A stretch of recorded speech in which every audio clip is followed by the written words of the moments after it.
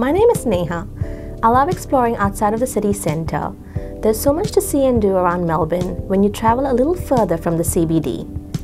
I think that Box Hill is an amazing little hidden gem in suburban Melbourne and it's only half an hour from the city by train.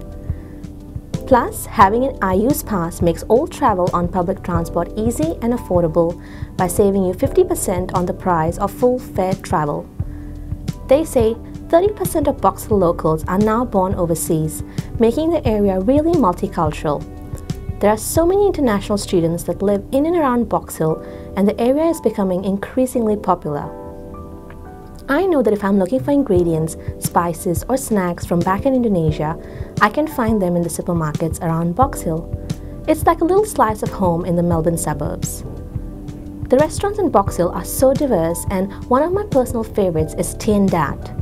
Tien Dat is the first Vietnamese restaurant in Box Hill established in 1983. The area is also perfect for a cheap eat.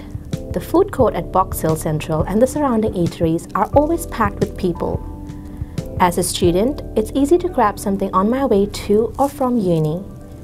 There are lots of traditional Asian bakeries dotted around Box Hill, so I'll always pick up a little something for my housemates. There are so many serene pockets of nature in Melbourne that feel like an escape from the city. I particularly like Wattle Park, which is just an easy bus ride away from Box Hill Central.